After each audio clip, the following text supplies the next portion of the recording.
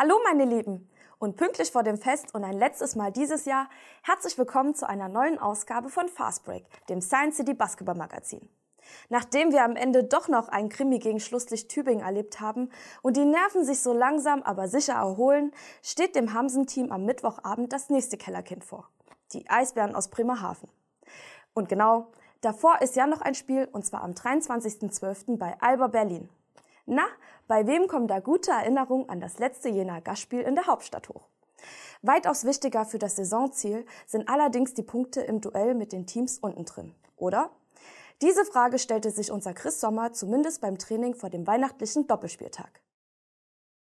Advent, Advent, ein Lichtlein brennt. Ebenso wie es die Stimmung in der Sparkassenarena am vergangenen Wochenende zum Duell mit den Tübinger Tigern tat. Science City schaffte es trotz der Verletzung von Martinas den Tabellenletzten als Verlierer vom Feld zu schicken und machte sich damit etwas Luft in Richtung BBL-Schlusslichter. Während die Albatrosse nicht zu dieser Kategorie gehören, vervollständigt das Duell mit den Eisbären Bremerhaven die Tabellenkeller-Festspieltage. Und schließlich sind es genau diese Spiele, die Science City gewinnen muss, will das Harmsen-Team in der obersten Spielklasse des deutschen Basketballs bleiben. Zeit zum Entspannen findet sich da selbst an den Weihnachtsfeiertagen kaum. Wir haben jetzt auch wichtige Spiele, auch wenn die Feiertage kommen. Manche von den Jungs können nicht wirklich nach Hause, denn wir spielen ja am 23. in Berlin und 24. ist frei, aber am 25. geht es weiter mit Training, 26. Training, 27. Spiel, 28. Training, 29. Training, 30. Spiel. Also ähm, da bleibt wenig Fokus auf die Feiertage. Ich bin da glaube ich schon ein bisschen äh, glücklicher, weil meine Mutter nur in Weimar wohnt und meine drei Brüder dort sind und noch ein bisschen andere Familie. So, ähm, dass ich da hin und her fahren kann. Ja, aber für manche von den Jungs fällt Weihnachten sozusagen aus.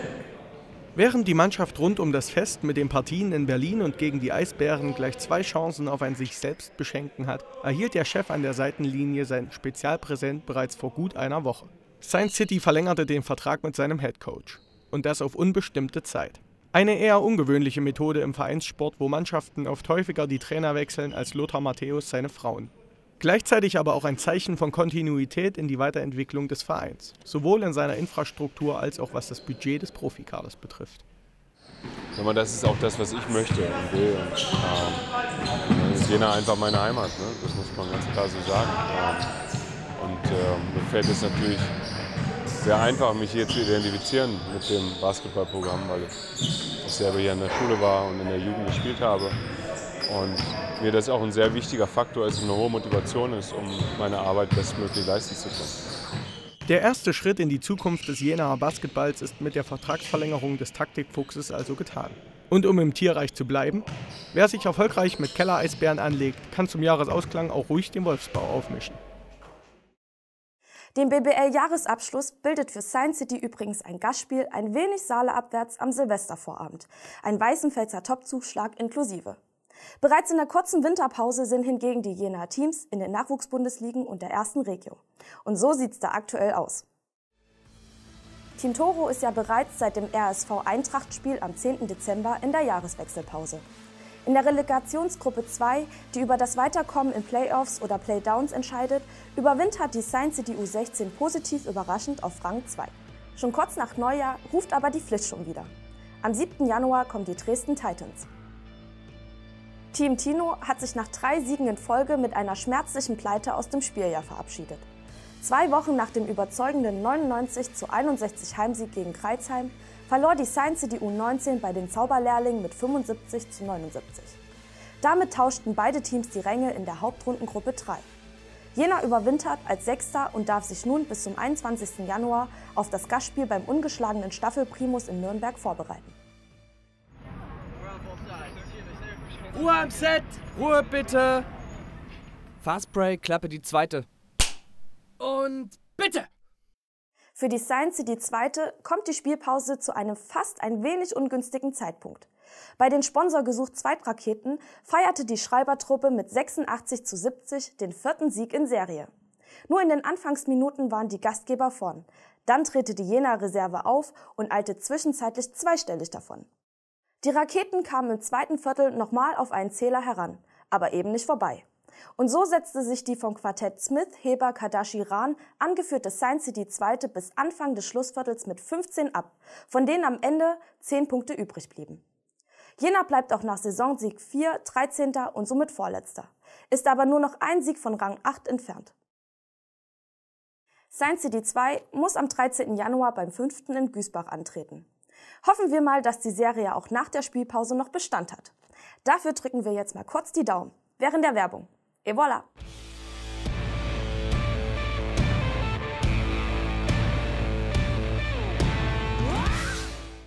Energiebündel sind unser Vorbild. Wir liefern Strom, Gas und Wärme aus einer Hand. Stadtwerke Energie in Püßnig. Wenn Sie uns brauchen, sind wir da.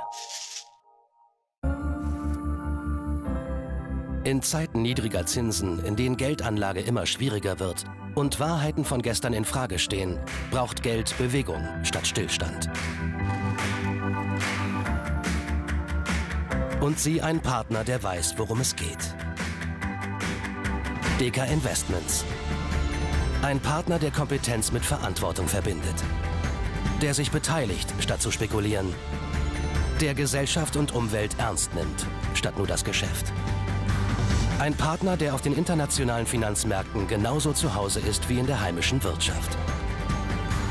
Dort die attraktivsten Anlagechancen entdeckt und mit Fonds, Immobilien und Zertifikaten die gesamte Palette moderner Produktlösungen bietet. Der flexibel auf Marktveränderungen reagiert und weiß, was Sicherheit bedeutet.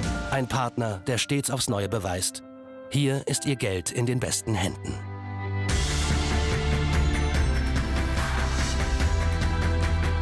Jetzt in Ihrer Sparkasse.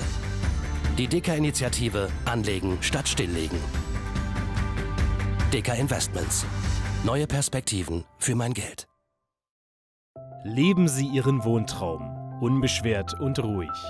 Das Wohnquartier Nordlichter 2 bietet Ihnen in 78 Wohnungen verteilt auf fünf Mehrfamilienhäuser alle Vorzüge einer modernen Stadtwohnung mit Nähe zum idyllischen Grün. Ihr Wohntraum von der Einraumwohnung bis hin zum Fünfraum-Familiendomizil. Durch die bestens ausgebaute Infrastruktur und vielfältige Einkaufsmöglichkeiten sowie ein breites Angebot an Freizeit und Kultur bieten Ihnen die Nordlichter 2 die Basis für ein sorgenfreies und abwechslungsreiches Leben.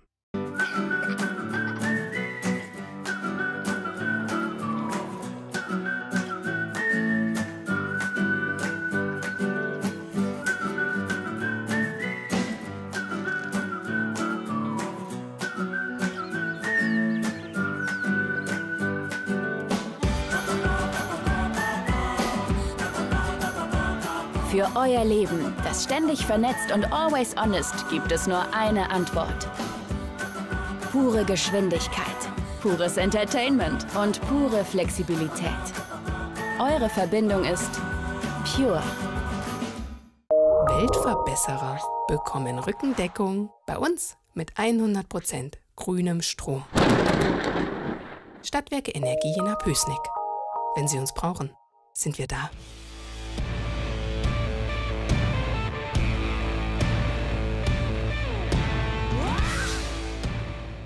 Willkommen zurück mit brandneuer Spielervorstellung.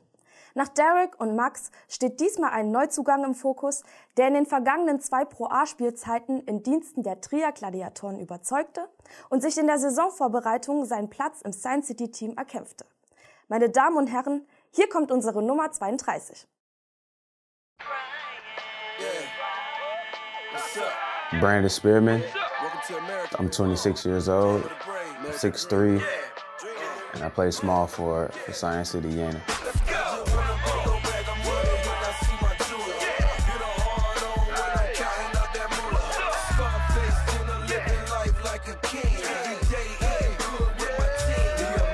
I'm originally from Chicago, Illinois.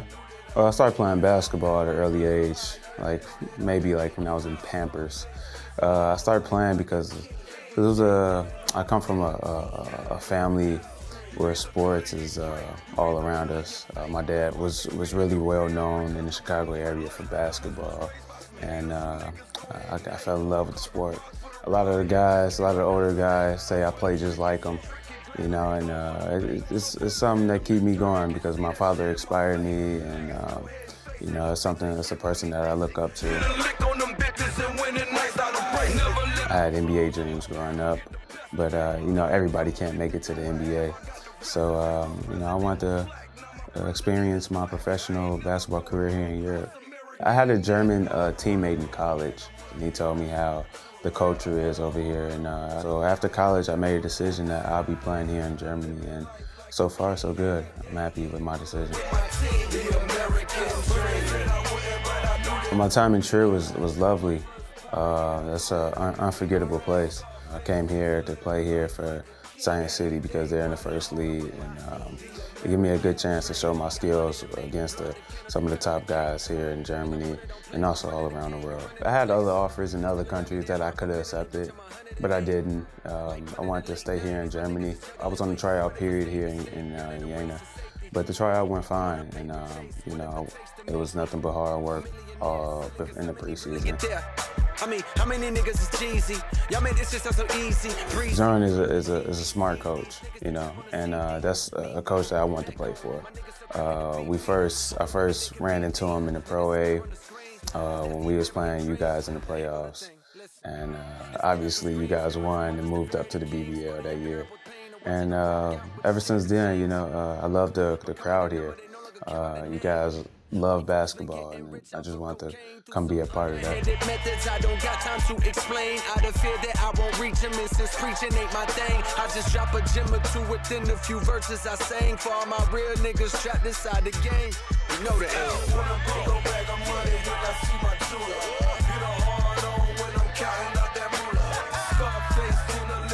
They're great leaders, uh, Derek and Jew and, and Mac, like them great guys, you know.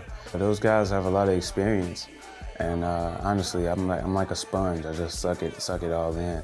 You know, just hearing, you know, watching them play, uh, watching them come to practice every day, putting in the work, and uh, I just I just watch and observe and.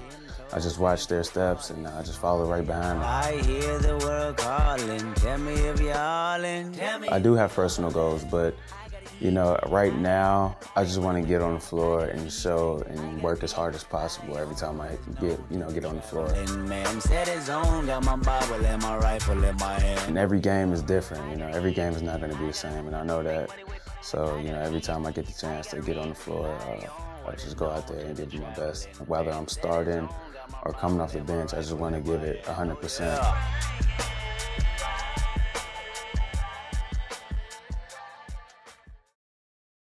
Leute, es wird mal wieder Zeit, Preise abzustauben.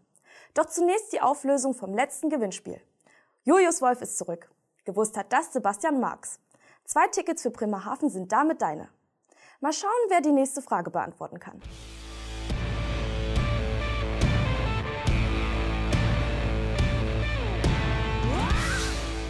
Welche Laufzeit hat der neue Vertrag, den Science City Head Coach Björn Hamsen vor wenigen Tagen unterschrieben? Ich weiß es. Okay. Schreibt uns die richtige Antwort und euren vollständigen Namen an aktion.jenatv.de. Zu gewinnen gibt es diesmal zwei Tickets für das Heimspiel gegen die Basketball-Löwen Braunschweig am 4. Februar 2018. Einsendeschluss ist Sonntag, der 21. Januar 2018. Der Rechtsweg ist wie immer ausgeschlossen.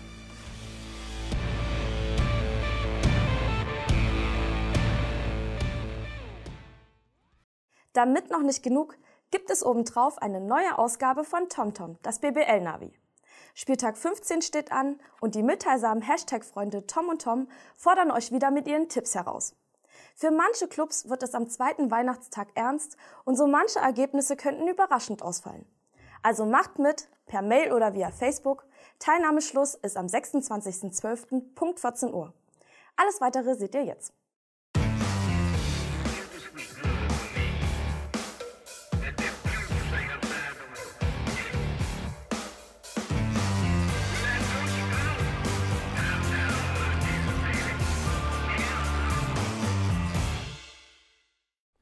So, herzlich willkommen zur siebten Ausgabe von TomTom, das BBL-Navi. Nach dem dreckigen Dutzend in der letzten Woche sind jetzt die glorreichen sieben dran. Nach dem dreckigen halben Dutzend. Halben Dutzend. Genau, genau. Ja. Ähm, genau, auch moin von mir. Ähm, wir starten wie gewohnt mit der Auflösung vom letzten Mal. Und zwar hat sich da quasi auf der Zielgeraden äh, ein, ein Duo herauskristallisiert. Dann ein bisschen Losglück ist es Alexander Till geworden. Glückwunsch, das Walters Altherrengedeck gehört da mit dir. Und dazu ist es auch ziemlich eng in der Gesamtwertung geworden. Ja, da kämpfen so mit ein bisschen Glück haben 10 bis 15 Leute noch die Chance ähm, auf den Halbjahresgewinn. Mega-Gewinn. Mega-Gewinn. Wir verraten immer noch nicht, aber es lohnt sich, ihr Lieben. Das ist sozusagen eine, eine BSP. Mehr will ich dazu nicht sagen. Best Seat Portable. Habe ich mir überlegt. Ist geil. Ah, ja, stark.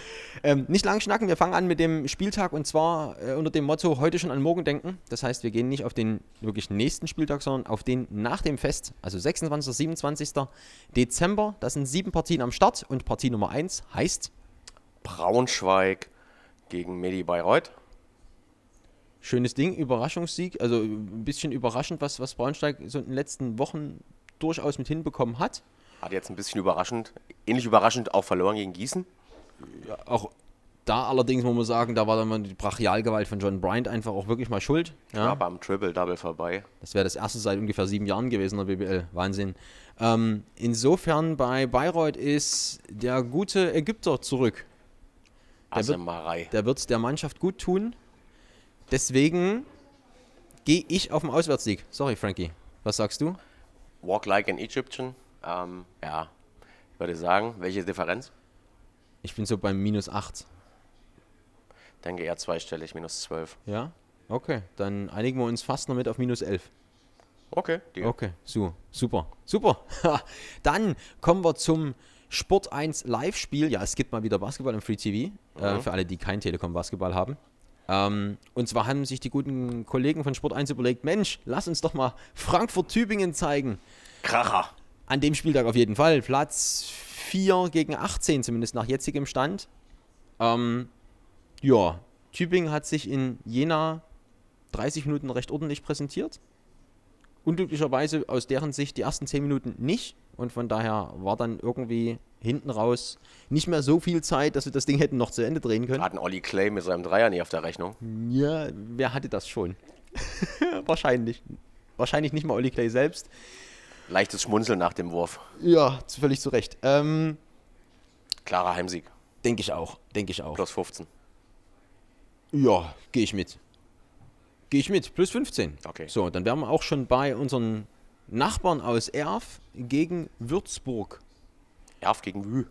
Erf gegen Wü. Ähm, bei Würzburg ging es in letzter Zeit also starker Beginn zu, zu, zum Saisonstart. die Polder. Und äh, dann ging es ein bisschen bergab. Jetzt hat Robin Benzing sich auch das erste wirklich Low-Point-Game geleistet. Ist deswegen auch nicht mehr Topscorer der Liga. Sondern ein verletzter Philipp Scrub ist jetzt auf 1. Also man kann auch im verletzten Dasein äh, auf 1 rutschen. Nicht so schlecht, ja, für alle, die Aber kein richtiger Scrub. ähm, nichtsdestotrotz. Auswärts. Auswärtssieg. Minus ähm, 18. Ja, ja, also knapp, knapp mit einem 2 vorn, also knapp nicht eine 2 vorn, so hätte ich das auch gesehen. Wunderbar. Partie Nummer 4, die beiden Gs gegeneinander. Ja. Feilchen gegen 46ers. Göttingen gegen Gießen. Gießen, ja. Äh, auch da, also was Göttingen macht, ist immer schwer vorherzusehen. Die haben echt gute Spiele, vor allem zu Hause. Dann haben sie ganz, ganz maue Spiele, vor allem auswärts wenn die Partie Göttingen gegen Gießen heißt, heißt Göttingen spielt zu Hause. Von daher eher mit einem stärkeren Team zu rechnen. John Bryant hat nicht immer einen Sahnetag. Der wird sich bestimmt noch zwei Wochen ärgern, dass er das Triple-Double verpasst hat. Wird deswegen nicht so gut drauf sein, würde ich sagen. Plus sieben. Und dann verliert Gießen mit sieben. Das, yo, finde ich gut. gut. Kommen wir zum noch amtierenden Meister, Bamberg. Ja, mal gucken. Ich meine, hinten raus, na, am Ende kackt die Ente. Ja, ja, ja, ja. Aber ähm, bitte nicht Frank Buschmann äh, zitieren. Am, am, am, Ende ist die Ente fett oder so. Ja. ja. Ist, ist die Wurst alle. Ja, ja genau. Die Wurstpelle ist aufgeplatzt. Ähm, ja. Bamberg zu Hause gegen den mitteldeutschen BC, die echt Gefallen dran gefunden haben, Overtime zu spielen. Ja, ich glaube, das war jetzt schon die vierte. Vielleicht werden sie dann besser bezahlt beim MBC, keine Ahnung. Mal gucken. Ähm, ja, Giorgio Pantelic hat sich wieder erholt von diesem kurzen Zusammenprall. Der dürfte also auch wieder fit sein. Von daher allerdings ist die Brachialgewalt. Klarer Heimsieg 22. Ja. Ich denke auch. Also ich denke auch, dass der Ausrutscher in Oldenburg von Bamberg jetzt ähm, dem, dem, äh, dem Spielplan der, der Brose, äh, der Brösels äh, letztendlich äh, geschuldet ist, weil innerhalb von, weiß ich nicht, zwei Wochen gefühlt 18 Spiele ist das schon ziemlich derbe.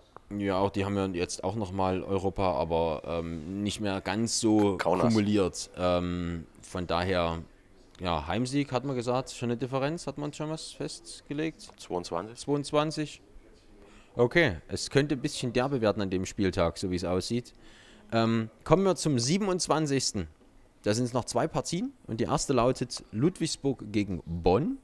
Beide Teams international unterwegs. Dazu Ludwigsburg auch nochmal in der Liga vorher. Ja, Das ist ein enges Ding, denke ich.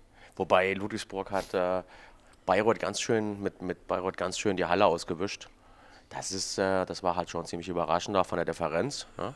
Ja, auch vom, vom Offensivergebnis von Bayreuth sehr überraschend. Ja. Weil ich meine, die waren jetzt in der Saison bislang klar mal ein bisschen besser, mal ein bisschen schlechter, aber ähm, 47 Punkte nur zu machen, das ist schon. 150. Äh, Lubo Favorit, ja, aber kein Blowout. Oder? ich bin gespannt. Die spielen gerade zu Hause auch sehr, sehr stark. Ähm, Plus 50? Nein, machen wir nein, nicht. nee, nee, nee, nee. Äh, ja, ich, mit Ach und Krach einstellig. 9? Ja. Gut. Mal 9. Plus 9. Und dann, in Tradition soll man nicht brechen, abschließendes Spiel Jena gegen Bremerhaven. Wieder ein Team von unten? Ja. Ist es gut? Ja. Also meinst du jetzt Jena oder? ja, so ein, ein angedeutetes Kellerduell.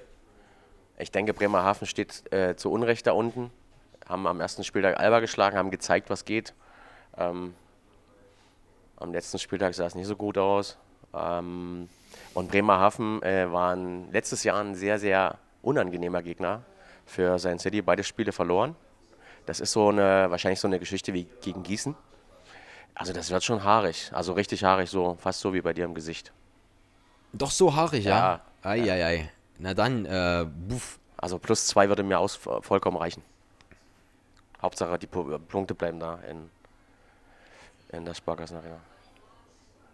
Okay, na gut, ich hätte jetzt noch sagen können, dass Bremerhaven, okay, gut, die haben bei Alba gewonnen und ansonsten noch gegen Tübingen und sonst noch nichts weiter gerissen. Aber die haben eben auch, glaube ich, fünf, sechs, sieben Spiele mit maximal fünf Punkten Differenz verloren. Von daher kommt Spiel einfach mal Tübingen. noch eins dazu und dann sagen wir plus zwei. Ja. Alles klärchen. Gut, Hauptsache Sieg. dann sagen wir plus zwei. Das wäre Spieltag 15, kurz nach Weihnachten. Ähm, mitmachen könnt ihr wie immer per Kommentar unter den Facebook-Post, ähm, per persönliche Nachricht, per E-Mail an. Aktion at jenatv.de. Langsam kommst du rein, das Ah, ist ja. sehr gut. Und ähm, die Runde gilt wieder bis zum eine Stunde vor Tipp auf der ersten Partie. Das wäre am 26. zweiter Weihnachtsfeiertag, 14 Uhr. Wisst, ja, diesmal ist ein bisschen mehr Zeit. Aber ja, es geht ja auch um was. Wie gesagt, ne? BSP. Und sag's der, im. Übrigen, der Hoodie ist noch nicht weg. Ne? Also es gilt nach wie vor, der blaue Jena Never Stops Hoodie steht noch im Angebot. Wer zuerst drei Differenzen an einem Spieltag richtig hat, schließt die Tendenz ja mit ein. Äh, Schließt doch mit ein, ja? Ja, ja, geht das mit dem, klar, geht mit dem, äh, geht mit dem Hoodie nach Hause oder holt ihn sich hier ab. Und dazu gibt es natürlich wie immer auch einen Tagespreis von der Sportsbar Markt. Ähm, und das wär's damit. Dann wünsche ich ein frohes Fest Ja, schöne Weihnachten. und Lasst euch beschenken und verprügelt den Weihnachtsmann nicht. das stimmt. Und wir sehen uns dann mit einer neuen Episode erst gegen Ende Januar wieder. Ja. ja. Genau. Also gefühlt nach einem halben Jahr. Oh, Backe. Na dann, rutscht gut rein. Und ich gehe jetzt, glaube ich, eine Runde Super Nintendo spielen. Geilo. Prost. Salut.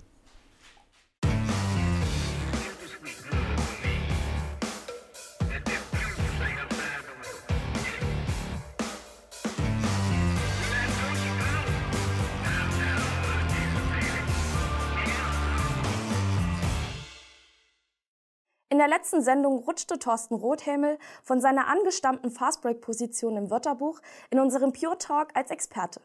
Diesmal, und deswegen sorry an alle Toro-Fans, ist der sympathische U16-Coach nicht am Start.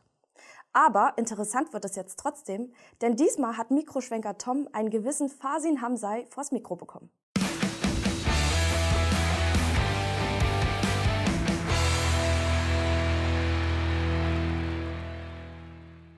Herzlich willkommen zu einer neuen Ausgabe des Pure Experten Talks und heute neben mir Fasin Hamsai. Fasin, schön, dass du Zeit gefunden hast. Vielen Dank. Ähm, du bist ja ein bisschen, hast ein bisschen weniger Präsenz seit diesem Sommer bei Science City, warst vorher ja in einem speziellen Amt. Erzähl doch mal, vorher ja, warst du ich war zuständig für die zweite Mannschaft äh, von Science City Jena. Ähm, wir sind ähm, im ersten Jahr haben wir gegen Abschied gespielt, im zweiten Jahr sind wir aufgestiegen in die erste Regionalliga aus der zweiten Regionalliga. Und letztes Jahr haben wir sensationell sozusagen den, siebten, den sechsten Platz geschafft mit ähm, unerwartet mit vielen Siegen. Warum bist du dann jetzt nicht mehr Trainer der zweiten? Ähm, wir hatten unterschiedliche Auffassungen, wie es weitergeht. Ähm, aus meiner Sicht, ähm, da ich auch sehr ehrgeizig bin, äh, möchte ich natürlich den nächsten Schritt äh, gehen und ähm, kurzfristig sozusagen eine Pro B-Mannschaft, äh, also die Mannschaft in die Pro B äh, zu führen. Ähm, der Verein hat sich entschieden, tatsächlich einen anderen Weg zu gehen und eher eine Konsolidierung zu fahren, ähm, was ich auch gut verstehe, denn tatsächlich, wenn man in die Pro B aufsteigen möchte, dann braucht man auch das gewisse Kleingeld. Ähm, und, ähm, und im Moment ist es nicht machbar. Aber ich glaube, mittelfristig bis langfristig äh, muss man schon schauen, wenn man junge Spieler national und international holen möchte, dass sie über eine Pro B oder eine Pro A-Mannschaft sich empfehlen für die erste Liga. Dem Verein, also Science City, hast du im Sommer aber trotzdem den Rücken nicht gekehrt. Du hast jetzt eine andere Funktion. Warum hast du dich dafür entschieden? Ja, das ist sehr eine reizvolle Aufgabe, denn ähm, der Verein möchte tatsächlich die Qualität in der Jugendarbeit noch weiter verbessern. Ähm, Spieler, die ins JBBL kommen, also Jugendbasketball-Bundesliga. Ähm, da äh, erwartet man eine höhere Qualität an Spielern. Ähm, denn äh, mittel- und langfristig wollen wir schon einer der ersten Adressen sein in Deutschland, die in der Jugendbasketball ähm, enorm professionell agiert. Und ähm, deshalb habe ich mich entschieden, die U14-Mannschaft äh, machen. Das ist genau der Jahrgang, der kurz davor steht, in, ins JBL reinzugehen. Wo steht denn Jena, was so U14, U15, U16 anbelangt? Das ist eine sehr gute Frage. Ähm, ich würde sagen, wir sind auf einem sehr guten Weg. Ähm, wo wir stehen, werden wir erst im Mai, Juni wissen, wenn die Süddeutsche Meisterschaften, Deutsche Meisterschaften absolviert sind. Wir haben uns äh, entschlossen, tatsächlich um höhere Qualität äh, äh, herbeizuführen, auch eine europäische Euroleague zu spielen, europäische ähm, äh, Spiele zu absolvieren. Wir haben das erste Turnier schon absolviert. Das war fantastisch für die Jungs, ähm, weil sie erstmal anderes Land kennenlernen, andere Sprache, andere Umgebung. Ähm, dann haben wir im ersten Spiel richtig einen auf den Deckel bekommen und äh, was mich ganz stolz gemacht hat, dass die Mannschaft reagiert hat und die Intensität erhöht hat. Und genau das ist der Effekt, den wir erzielen wollen.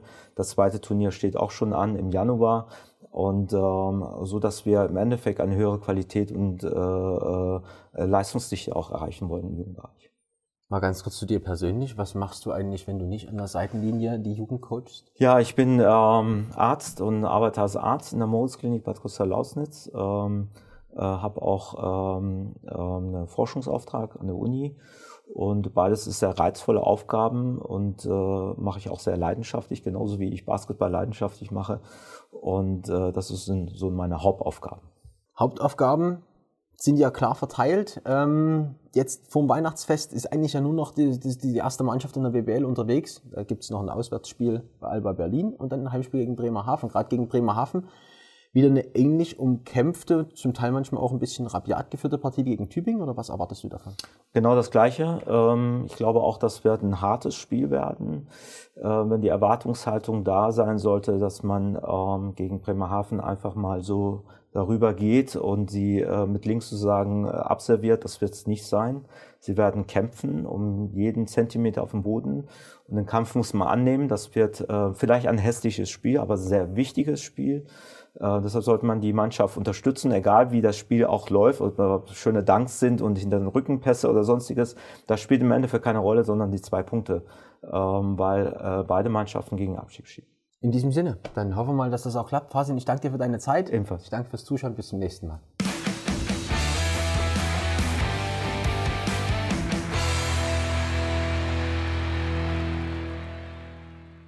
Wir kommen leider schon zum Endsport der heutigen Ausgabe. Wie? Natürlich mit einem Blick auf die unterkühlten weißen Teddys aus der Exklave des kleinsten deutschen Stadtstaates.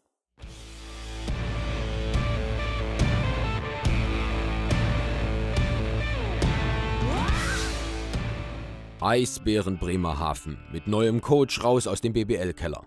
Basketball wurde in der gut 110.000 Einwohnerstadt an der Nordsee bereits in der ersten Hälfte der 80er Jahre schon einmal auf Zweitliganiveau gespielt.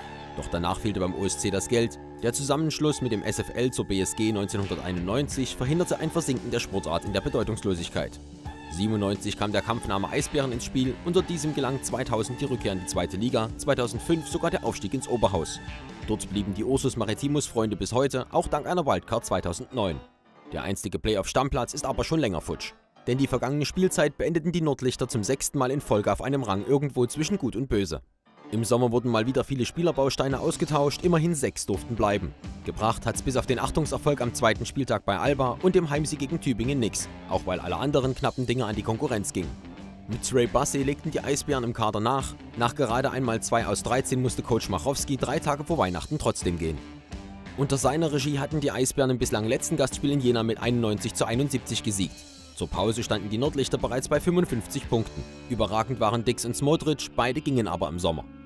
Ganz neu auf der Eisbären-Trainerbank ist Arne Woltmann. Der frühere Kölner und A2-Coach schaffte im Sommer in seiner Geburtsstadt eigentlich den Sprung weg vom Court ins Management. Jetzt darf er beides machen. Impuls und Strukturgeber auf dem Feld wird aber auch nach dem Trainerwechsel Jordan Hals sein. So mau die Teamstats sind, so beeindruckend sind seine. Eine Traumquote von der Linie und ein starker Mix aus Treffen und Assists sammeln machen ihn zum effektivsten Spieler des Teams. Beim Scoren hat allerdings Johnny Behanna Maskell die Nase ein wenig vorn. Der ausgewiesene Downtown-Spezi überzeugt auch aus dem Zweierland. An seinem Ruf als guter Verteidiger muss der Kanadier aber noch arbeiten. Zurück an alte Wirkungsstätte kommt Lars Wendt. Nach drei Jahren für Saint City ging er im Jenaer Aufstiegssommer zurück in den heimischen Norden. Im finalen Drittel der vergangenen Saison war Lars Bären stark. Doch aktuell ist neben Hals nicht viel Platz. Erst recht nicht bei nur 1 von 16 von außen.